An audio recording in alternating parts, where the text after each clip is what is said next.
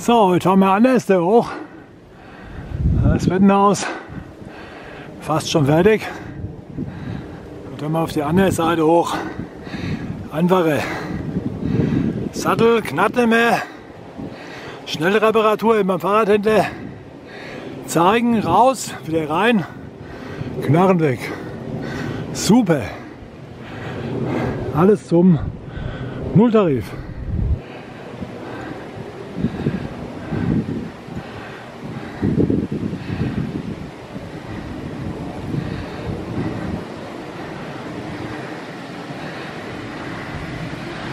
Ja, mein Motor, mein E-Antrieb. Ja, wenn das nicht mehr so knarrt, ist das toll. Da kann man nichts sagen. Das ist ganz ruhig.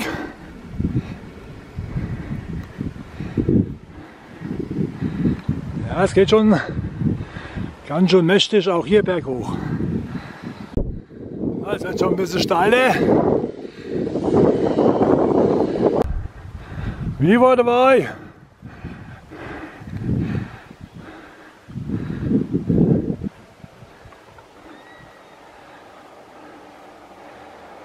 Ausgleich. Ja. An die Neunkirchner Höhe. Und Felsberg. Sieht man heute super.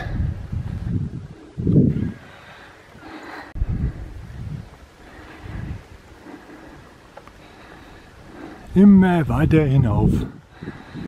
Ja, der Unterwald, der Vater, das Wasserwerk.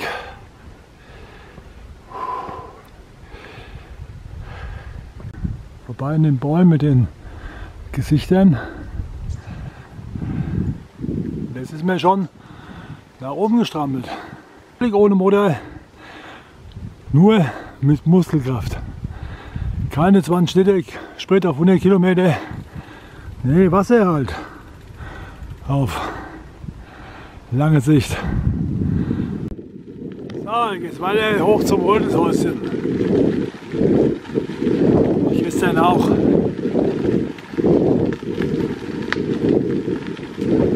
Wenn man das öfters macht, dann kann man das ganz locker erfahren. Wenn er durchaus von der Couch hochkommt, dann klappt das nicht. Aber wenn man das öfters macht, kann man das auch öfters fahren. Das ist überhaupt kein Problem. Die Power kommt dann komischerweise von ganz alleine.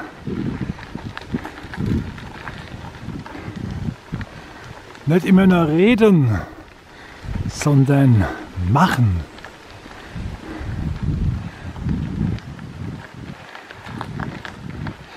Dann kann man das auch einfach genießen.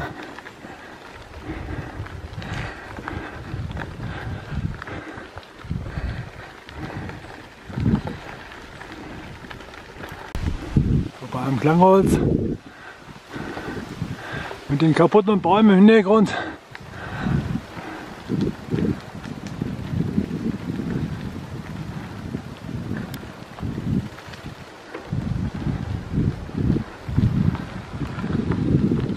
Traktor. So, jetzt sehen wir dann. Wenn er kommt, hat man als Fahrradfahrer keine Chance, muss man Platz machen. Jetzt endet man den Hagen. Dann kann man jetzt, jetzt hier hinten am Rand sehen und am Waldrand diesen Smog, der jetzt schon da ist.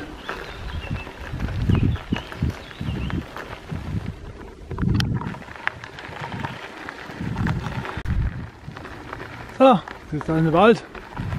Da ist noch die Baumelbank bei Zwerge. Jetzt weiter Richtung Holzhäuschen. Das Nest. Heute ist ganz anders. Da kommt mal jetzt eben Jogger entgegen, aber sonst keine Leute.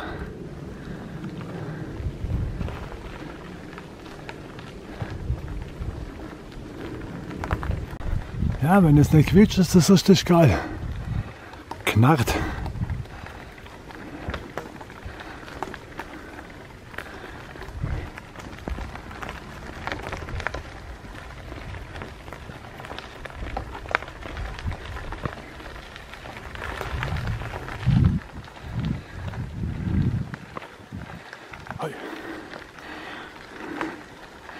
Und als man wieder eine Maus über den Weg so schnell sieht man nicht. Ich schaue immer wieder Sarah, Abracadabra, zack, ist mir oben. Am roten Soßchen.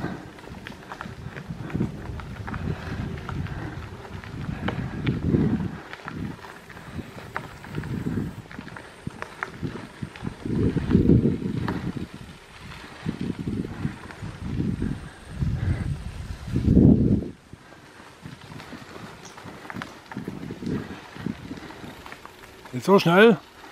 Man hört einmal Atem. Gar nichts. Nicht anstrengend. Einfach nur Locke.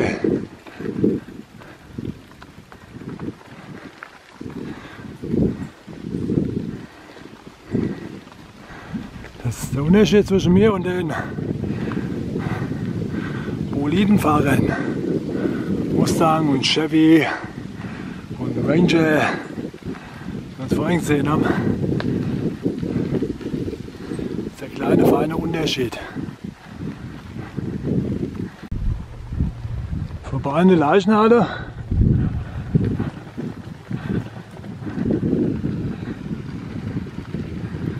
Und am Kadaverholz. Das sind ja eigentlich alles Baumkadaver. Auch wenn das alles mal Dachlatte werden.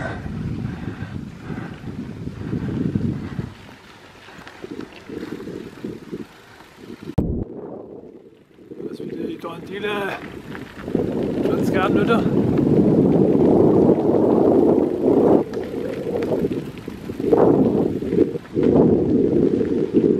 Da geht es wieder weiter Richtung Bachgau, Radheim.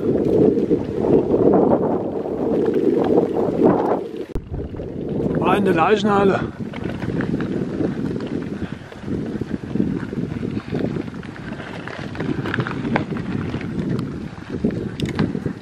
Die wilden Echsen des Odenwaldes.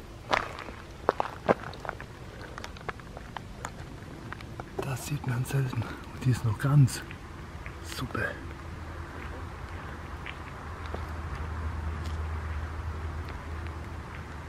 Geil.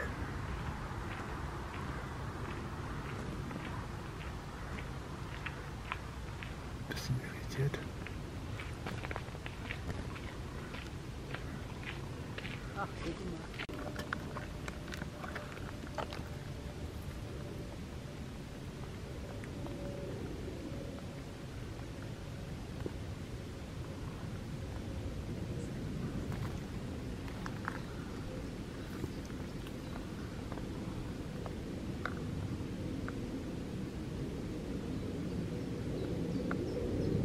Tag uns ab. Ein bisschen weg. Hüschelgräbe. Ja. Das waren ganz tolle Momente mit dieser Blindschleiche, weil die sieht man ganz, ganz selten. Und auch ganz, ganz selten ganz. Weil die war ja voll intakt.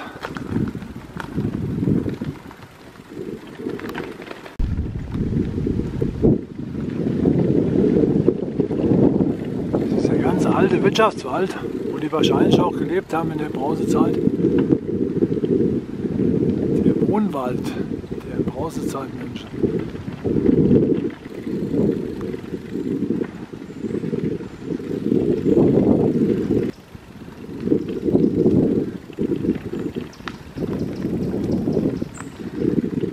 Und wieder zur Mutter Gotteseiche.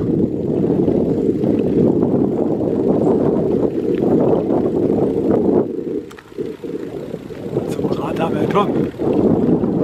Landwehr, Landwehr hinten dran verläuft. Da ist er schon, da scheint er schon durch. So, das ist ja kein Turm mehr, das ist ja schon ganz lange weg, dieser alte Holzturm.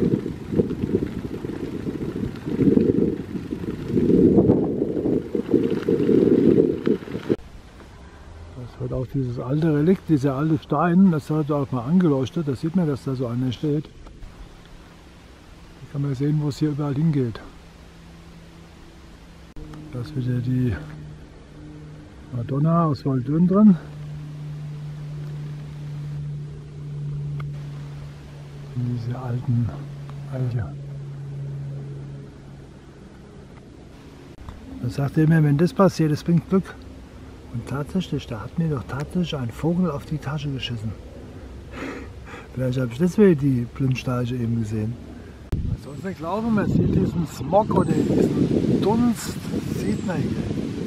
Sieht alles so staubig aus. Das macht so den Anschein.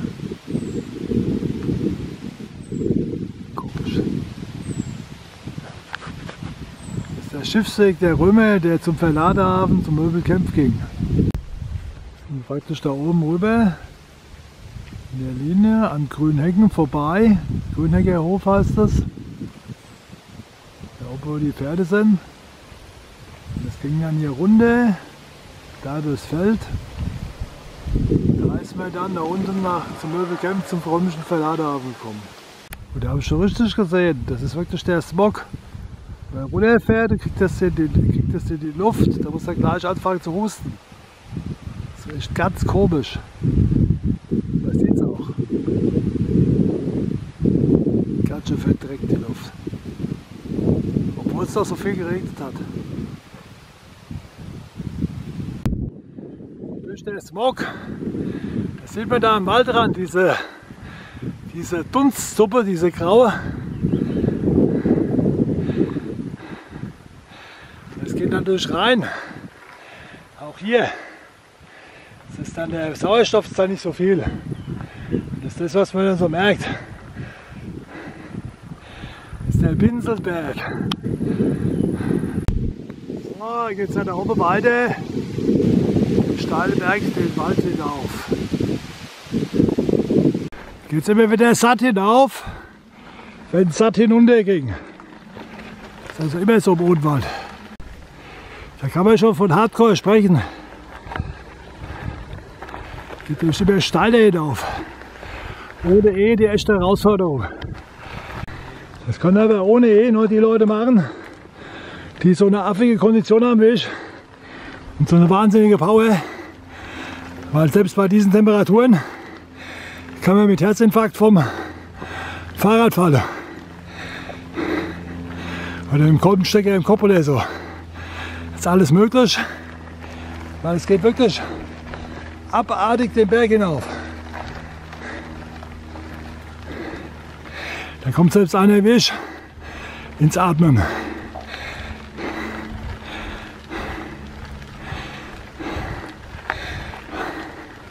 Von Radheim, hier wird eine Nuff an den Radheimer Turm, wo die Landwehr von Bad Turm entlang geht. So, dann können wir dann die Gänge hochschalten und hat es gepackt bis oben. Huh. Jetzt gerade die Fassleute wieder, die haben ihren Hochsitz aufgeladen auf den Hänger, die da vorne hinter mir hergefahren sind. Sie sind dann selber erstmal ganz gepauft, dass einer das schafft, da so hinaufzufahren und dann noch weiter zu fahren. Nicht irgendwo völlig losgelöst, kein Luft mehr, extra mal nach Luft japst und sich ausruht.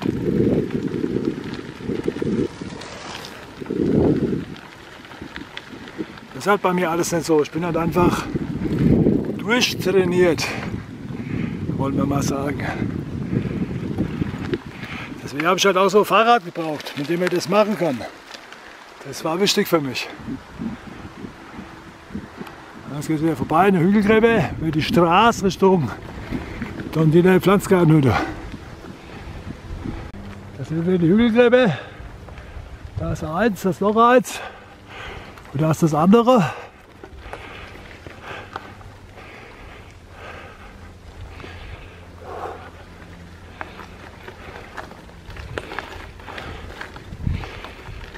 Der Beweis, dass hier vor 5000 Jahren auch schon was los war.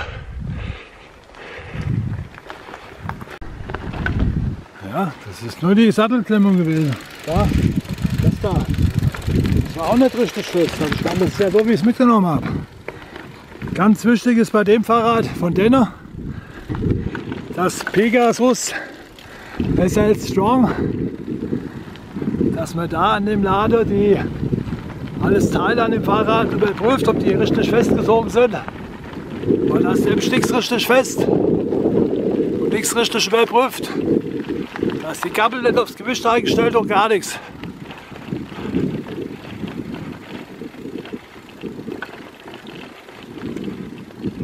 Alles das, was normalerweise die Top-Fahrradhändler machen. Da wo ich jetzt heute Umstand war, der ist super. Der hat mir eine Tipp gegeben mit der Sattelsteuer. Ich sage, probier's mal so. Und da habe ich so probiert. Und super. Gut nichts mehr knallen.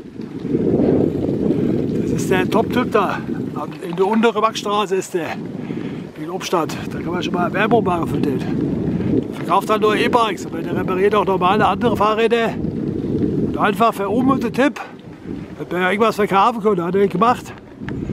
Das ist einer, der sich auskennt, der seriös ist.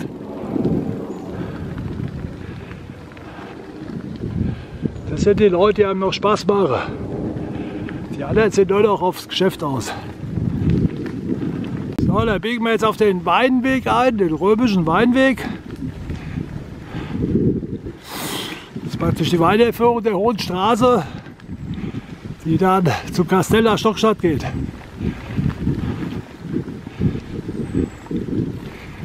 Dieser Weg hier.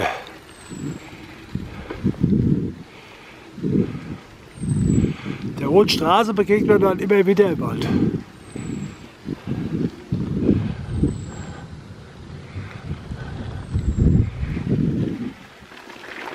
Dann geht es weiter Richtung Rödelshäuschen.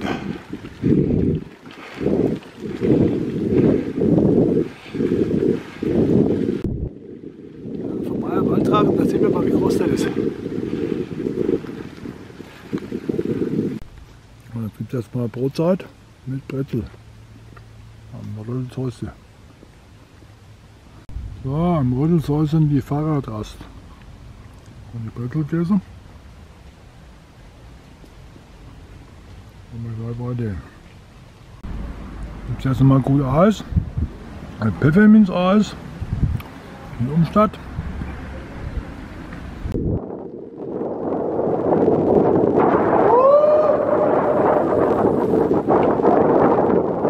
ist schon was wieder so toll. Das ist eben der wahnsinnige Smog, da geht immer vorne die Puste aus. Da drin haben die Augen, das ist kaum noch richtig Luft. Dann hast du keine Chance mehr. Da musst du langsamer fahren. Was ein Smog. Beim Mittelbrüch schreiben sie einfach Dunst. Ich kann den Smog richtig sehen. Das hat es bis jetzt auch noch nicht gegeben. Ein absoluter Smogtag.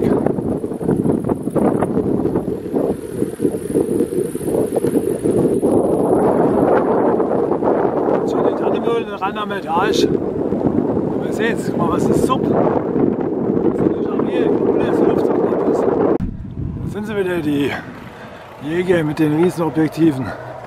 Ja, dann wollen wir mal den Mond sehen. So steht die Schattierung und die drei Stech, die immer noch nicht weggeflogen sind. Ja, es wird schon irgendwann mal was werden mit den Stech. Ja, der eine ist jetzt aufgestanden, aber dem Flieh wird es noch nichts. Ah, genau, jetzt kommt auch die Mutter und bringt ihnen was zu essen oder was zu trinken.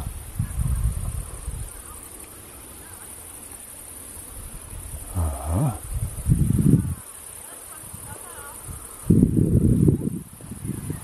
Sieht aus, als ob es was zu essen gibt.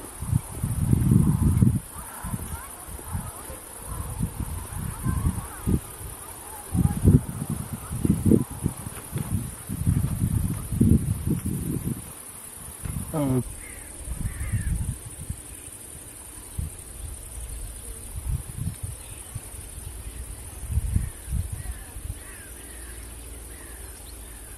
Dann sieht man mal, wie weit ich schon sind. Naja, vielleicht klappt es wohl.